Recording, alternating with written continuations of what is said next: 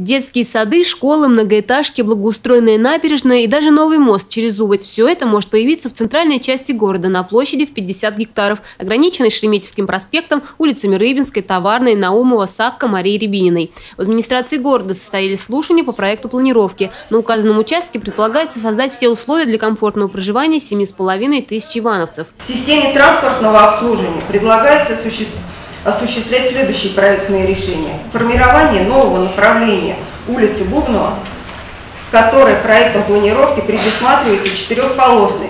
Ширина в красных линиях 50 метров. Данное направление позволит соединить улицы Профсоюзную, Сака с улицами Товарной и Рыбинской.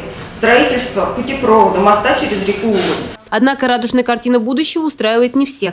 Рассматриваемый проект планировки предполагает, что некоторые элементы инфраструктуры расположатся на территории нынешнего частного сектора. Мы в центре И куда мы поедем? Теперь дома сломают все.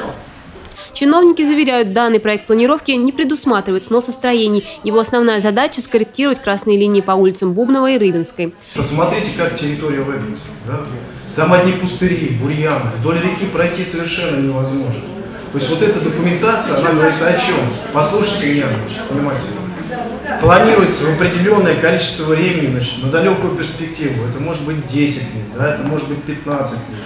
Привести ее в соответствие с чем? С другими микрорайонами э, значит, и территориями города. Это центр города, он не может находиться сегодня, э, как находится в таком состоянии. Хотя перспектива сноса домов весьма далекая, многие ивановцы эту информацию слишком близко приняли к сердцу. Как вы сказали, что вас никто сейчас не тронет. А когда тронет? Через год или что?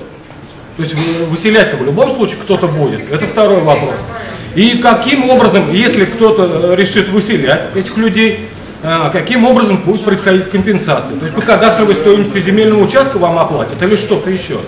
Если дело до изъятия земельных участков все же дойдет, то цена, уверяют чиновники, будет на уровне рыночной, а сам проект планировки будет притворяться в жизнь как за счет частных средств, так и бюджетных. Если мы говорим про объекты местного значения, это дороги, да, это сети, это благоустройство вдоль улиц, Значит, эту работу будет проводить непосредственно муниципалитет за бюджетные деньги с привлечением средств федерального областного бюджета. Если мы говорим про частные инвестиции, будь то строительство многоквартирного жилого будь строительство административного здания, вот о чем говорила значит, э, Анна Юрьевна, представитель э, разработчика, это частные средства. То есть вы здесь не будете брошены один на один с инвестором, но деньги будут частные. То есть выкупаться земельные участки у вас будут не за бюджетные деньги, а за частные. Все замечания и предложения по проекту планировки в течение недели рассмотрит специальная комиссия. Последнее слово, утверждает документ или нет, останется с главой города. Любовь Почерникова, Денис Денисов, РТВ Иванова.